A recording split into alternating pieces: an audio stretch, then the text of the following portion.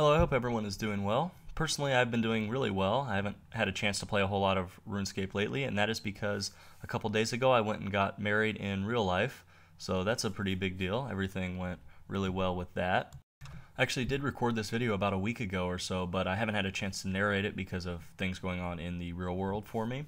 But I noticed the new update, which I haven't had a chance to play much since, with the nerf of both Zulrah and the Karamja General Store as money making methods.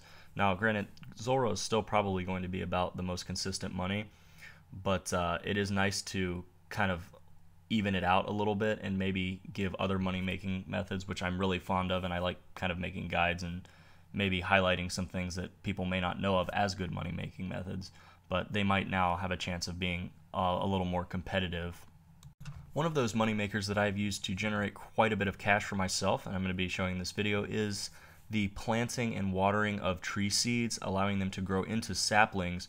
There's usually a couple thousand coin gap, especially with the higher up tree seeds, in between the price of the seed itself and the price of the grown sapling that is ready to be planted. And this kind of makes sense if you think about it. If somebody who's doing a farming run isn't planning ahead, they want to go ahead and buy those papaya the palm saplings and not have to wait, plant them, water them, and grow just to save, you know, 8 or 10K planting four or five of them. In order to really be profitable with this, it takes a good bit of time, but most of that is time that you're not actually at the keyboard. So overnight, putting up an offer for a bunch of tree seeds, kind of figuring out how much you can buy them for, picking out your seeds first of all, because you want to make sure you find seeds with larger margins. Oftentimes, the higher up tree seeds like yews and magics or palms and papaya will have the highest margins. However, the seeds are more expensive, so if you have a limited cash supply, you may want to stick with cheaper seeds like curry that are still used a lot but are much much cheaper and you can do it with a really small amount of cash and then therefore still buy a lot of seeds and make a pretty good profit. So I bought the five different types of tree seeds overnight, curry, pineapple, papaya, maple, and yew.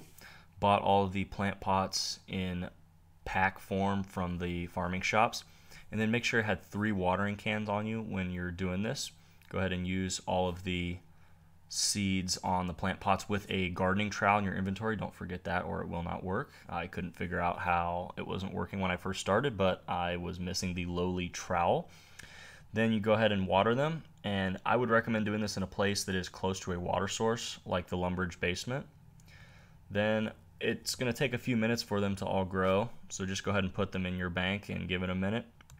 When you get to the selling point, if you want to maximize your profit, you don't want to go for the insta sell. So find out the highest price you can sell it for and go ahead and leave them possibly overnight at that price it shouldn't take that long, at least for me. It maybe took about an hour or so to sell all of them.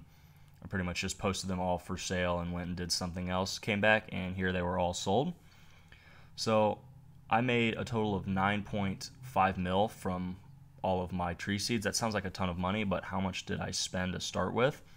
Well, if I look back through at what I spent on these seeds, I ended up actually making a total profit of 851k, which was pretty good considering this whole process of actually click intensive work was just over 20 minutes. It was about 22 minutes. So I'm looking at over 2 mil an hour doing this. Now, I don't think 2 mil an hour would be always the case. These prices could fluctuate a lot. However, if you do pay attention to prices and you find one with a pretty decent margin and post an offer overnight, the next morning, you should have a good amount of seeds to turn into saplings and sell for a good profit. I think this could be a really good money making method for somebody who doesn't need that money right there, but is looking for a way that is kind of efficient in terms of the time that they are actually spending. Thank you for watching this video. I hope you found it interesting, and I will see you in about a week and a half.